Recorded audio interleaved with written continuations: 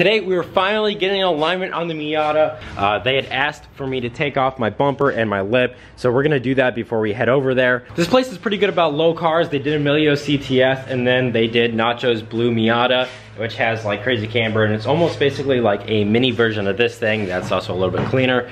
Um, if you guys wanna check them out, I'll put both their Instagrams in the description.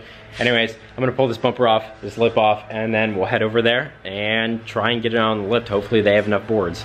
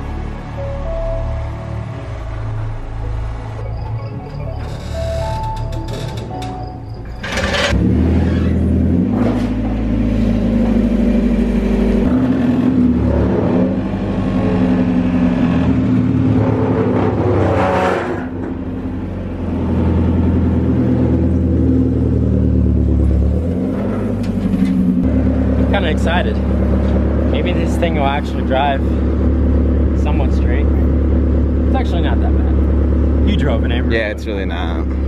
God, I just don't want to be going through these front tires. I yeah. might have them flip them too. I think once it's up in the air, I'll take a look at the inside and see what I think, see if I want them to flip them because this is the same place that uh, I have mount my tires and obviously they do stretch tires as well, figuring they've done uh, Emilio's tires, which you saw, and he had pretty stretched tires. They stretch the bat tires, which isn't like crazy stretch, but you know, they do do that as well. So if I do need them to do that, I'll have them do it. That's fine.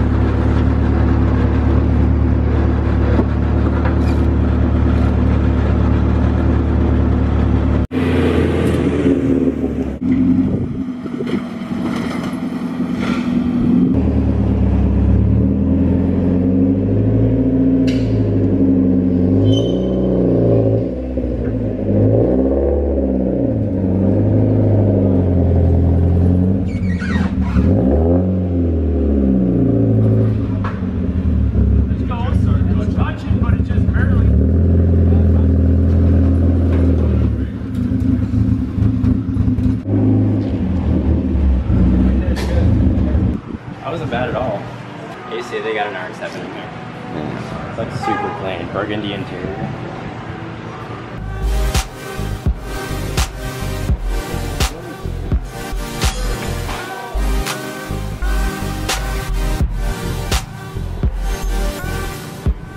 So we're hoping that the, the thing is able to recognize how much camber I have. I know that past a certain amount, the things can't register how much camber it has, but I don't think I have enough for it to be that way. So we'll actually get the official camber numbers right now too for all those asking.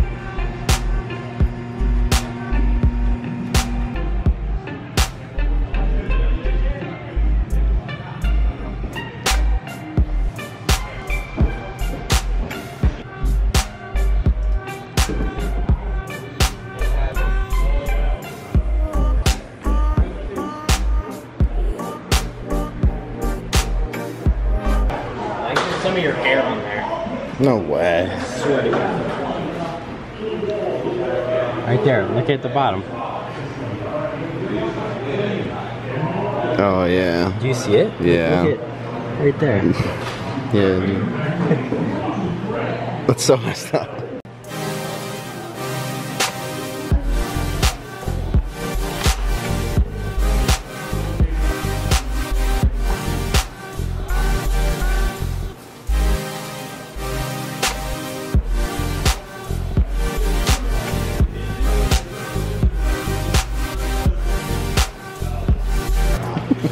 There you go. Perfect, thank you. I'm excited to drive it. I wasn't that far off, I mean. It's pretty quick. Look, it's in the red. They're like, it's supposed to be in between negative 2 and negative 1.2, negative 17. Hmm. So that's actually pretty good. So that means that that one hasn't really changed a whole lot since I measured it myself. And that means that I was pretty freaking close in my measurement, which I did with a ruler and some simple math.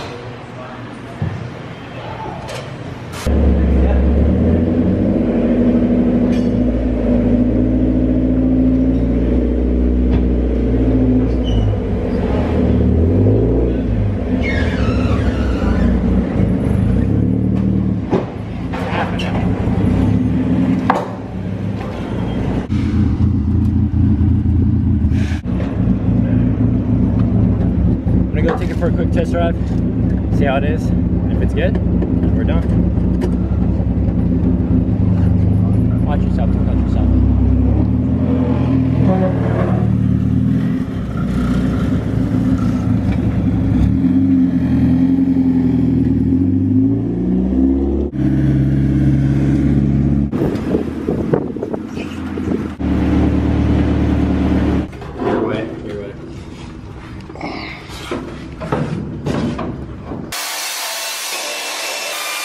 So.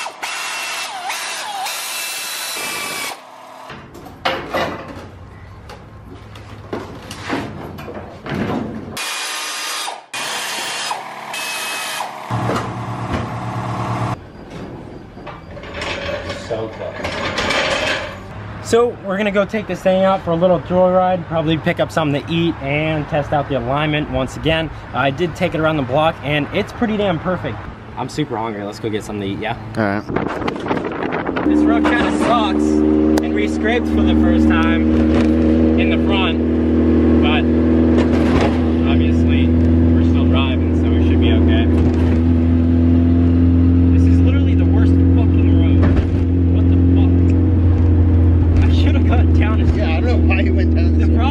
place we're going to is right off of this street, so oh, this is gonna be such shit.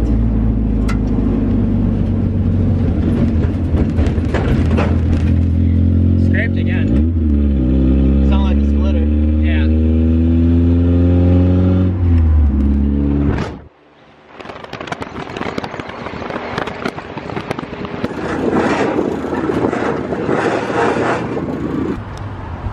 So we're gonna go in get some grub, come back out, drive this thing home, and then that's probably it for today.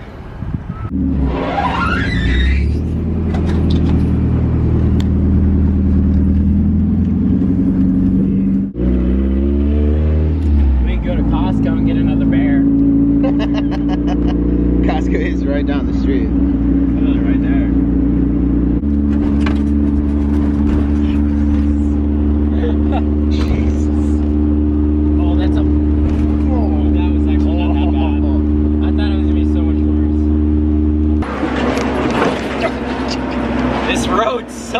So much. it's so bad.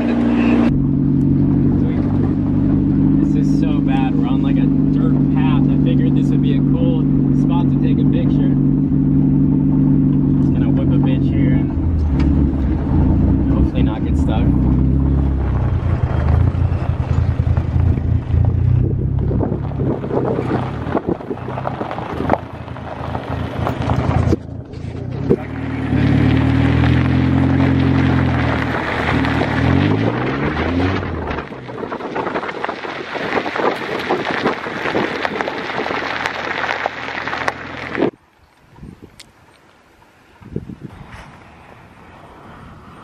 There's one in your wheel. Yeah, seriously. It's a grasshopper.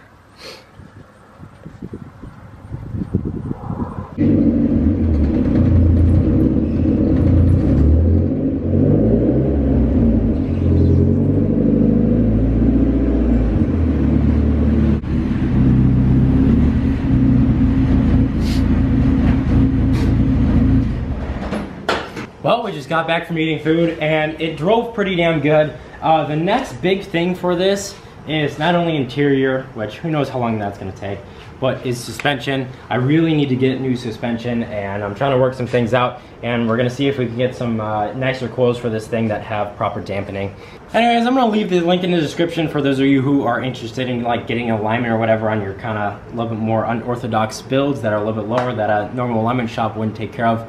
Uh, they obviously helped me out and helped me get one of the craziest builds out there done. Anyways guys, that's gonna be it for today. Hope you enjoyed today's video and peace out.